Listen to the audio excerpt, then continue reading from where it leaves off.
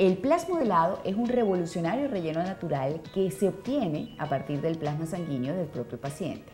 Se utiliza para corregir signos del envejecimiento a cualquier edad, rellenando surcos, arrugas, depresiones o cualquier irregularidad de la superficie.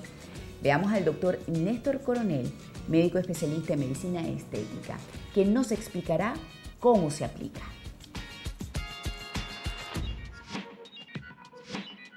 El plasmodelado es una técnica que se diseñó en Brasil a finales de los, siglos, de los años 90.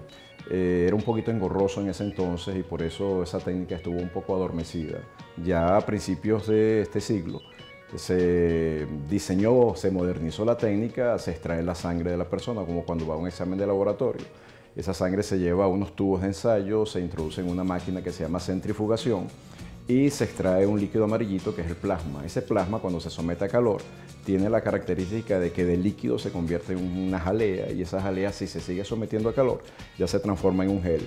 él tiene una capacidad eh, de, que se pega, se adhiere a los tejidos, de manera que cuando se aplica a través de una técnica que se llama bioplastía, es decir, se inyecta o se implanta dentro de los tejidos, permite hacer perfilado de la, de la nariz, permite hacer cuadratura del mentón, mejorar los labios, eso a nivel facial, pero a nivel corporal permite también definiciones desde las mamas, pasando por las áreas íntimas masculina y femenina, el glúteo y cualquier estructura que requiera ser mejorada desde el punto de vista estético y funcional. Es una técnica bastante segura cuando se hace con todas las eh, eh, medidas de asepsia y antisepsia. Eh, toda persona está en capacidad de que se le pueda realizar este tipo de procedimiento y lo que uno busca es eso, una mejora desde el punto de vista estético y una mejora desde el punto de vista funcional, tanto a nivel de los tejidos como a nivel de las estructuras anatómicas en las cuales se aplica.